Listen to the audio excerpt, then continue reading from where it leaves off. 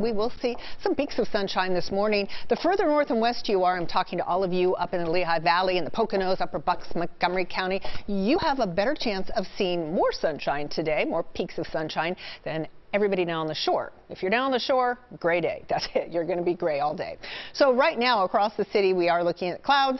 We are looking at 40 degrees, and the winds are out of the north and northeast to 15 miles an hour. They'll die down just a little bit, but right now they're creating a wind chill of 32. So it is cold out there. Howard was not fibbing about that, and the guy that's sitting there in the chair needs to put on something a little warmer than a sweatshirt.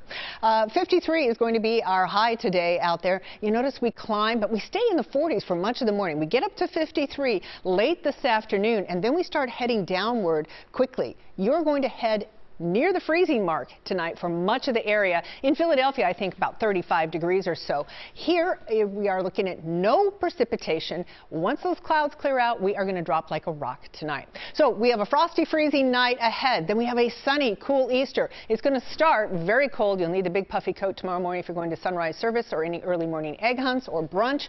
And then we have a dry stretch headed our way starting Monday, heading all the way through the week. And we're going to be into the 70s and the 80s. Several days in the 80s by the end of the week. Right now, we have a nice little blanket of clouds across the area. A little clearing up into the Poconos, though, so you'll actually get a little bit of sunshine this morning. We have high pressure that is slowly sliding down on top of us. But again, it's pulling in the winds out of the north and the east, and it's keeping us rather cool. Tomorrow will still be cool, but seasonably cool in the upper uh, 50s. We are going to be looking, here we are at 6 o'clock this morning, right now, at the clouds thinning periodically, but by 1 o'clock, look at this, the shore socked in up into the Lehigh Valley, a few peeks of sunshine, lighter shades of gray. We head into the evening. Everybody is cloudy this evening, 9, 10 o'clock. And then here it comes, that clearing. 2.30 in the morning. You're already clearing in Upper Bucks, Montgomery, Lehigh Valley.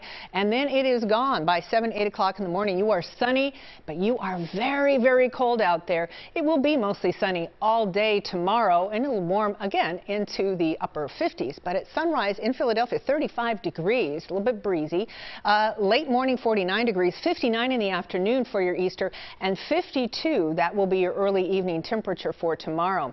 So for today, we're looking at 53 in Philadelphia, 51 down the shore. You will see the most cloud cover, and 52 in the Lehigh Valley, where you will see the best chance of some sunshine. 35 tonight in Philadelphia, 33 down the shore. That's where we have a freeze warning posted, frost advisory for Philadelphia, though, and 30 in the Lehigh Valley, just cold and clear there.